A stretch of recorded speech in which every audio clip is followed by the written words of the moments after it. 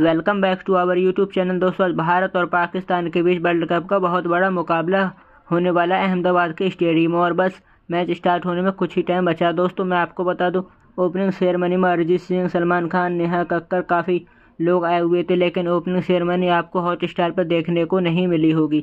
کیونکہ فرینڈز وہاں پر الاؤ نہیں تھی۔ لیکن دوستو، جو لوگ اسٹیڈیم میں گئے تھے، انہوں نے اوپننگ سیرمنی لائیو دیکھی تھی ارجیت سنگھ نیہا ککر کی۔ دوستو، میں آپ کو بتا دوں، آپ ہاٹ اسٹار پر نہیں دیکھ سکتے، لیکن جو اسٹیڈیم میں تھے، انہوں نے لائیو دیکھی ہوگی، کافی مزہ آیا ہوگا۔ ارجیت سنگھ آپ جانتے ہیں کتنے فیمس سنگر ہیں نیہا ککر بھی کافی فیمس سنگر ہیں۔ تو فرینڈز کافی مزہ آیا اور سلمان خان بھی آپ کو دیکھنے کو ملیں گے۔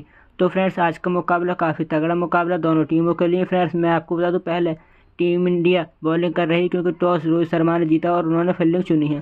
تو فرینڈس کافی مزہ آنے والا ہے۔ فرینڈس اگر آپ بھارتی ٹیم کو پسند کرتے ہیں تو پلیز ویڈیو کو لائک کریں۔ اینڈ آپ چاہتے ہیں بھارتی ٹیم آج پاکستان کو ہرائے تو پلیز چینل کو سبسکرائب ضرور کریں۔ تو فرینڈس ملتے ہیں نیکسٹ ویڈیو میں۔ تب تک کے لیے بائی بائی